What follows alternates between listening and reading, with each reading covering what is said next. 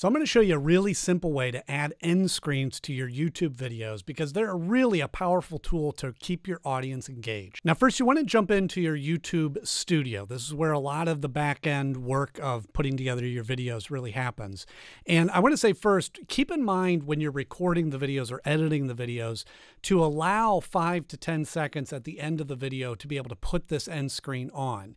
You can put it on any video, but if you allow space to put it in there, it really helps you out when you get to this point. But once you're in the YouTube studio, you can do this when you first upload a video or to any existing videos. I'm going to show you with a video that I just uploaded here. You want to click on the little pencil icon there to open up the edit feature. And when you're in here, you can add obviously add your details, your description, and all of that. And you click next. And in the video elements page, you'll see here add an end screen.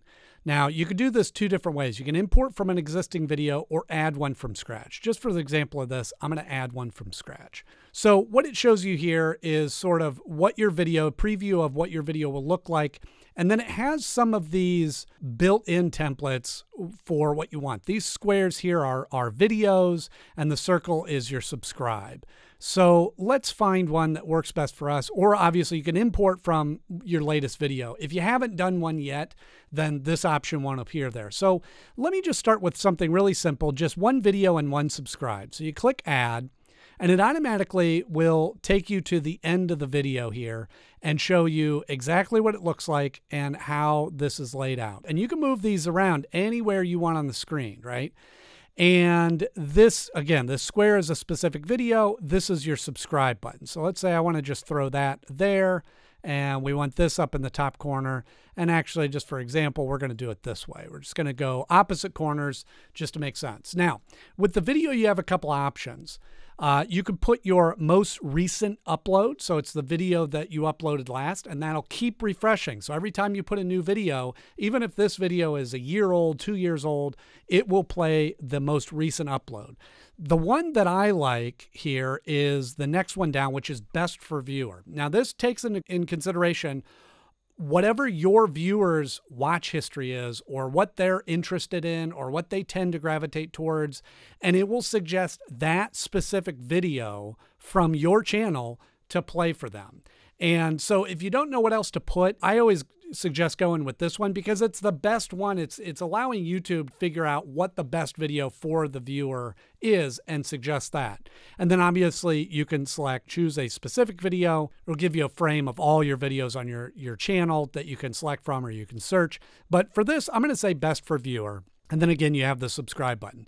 So when you're moving these around, you'll see that if you leave it like this, you'll see a red area here. That means you can't have them overlapping, right? So we're just going to put those into the corner. Down below, you'll see these little slider bars, right? So this shows the last 20 seconds of the video. By default, it allows you to put an end screen up to 20 seconds of the last of your video. Now, if you've already done the work of like building an end screen into there, whether it be with graphics or just having something, you know, static playing, or, you know, some people use like bloopers or something that's happening there, uh, that will pop up. And you can slide these so that you can decide exactly where you want it to come up. So let's say we just want it to come up like the last 10 seconds. And then you can click on the video here and it'll give you just a playback so you can see what that looks like, exactly where it's going to move. And there you go. You see how it pops up on the screen. And now these are all clickable. When you hover over that, people can subscribe. And then the video, once it's actually live, it'll put the thumbnail of the video that, that it, it is suggesting there. And you'll see too, when you go back to look at the video, it'll be different. It swaps it out, which I think is really kind of cool. And then once you have that laid out and you're happy with it, and you like the way that it looks, you can save that.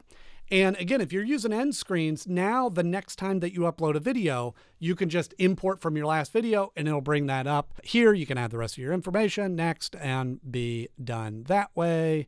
We'll just leave that private for example's sake. And you click save and that's it. You have an end screen. Thank you so much for watching. I'll see you in the next video.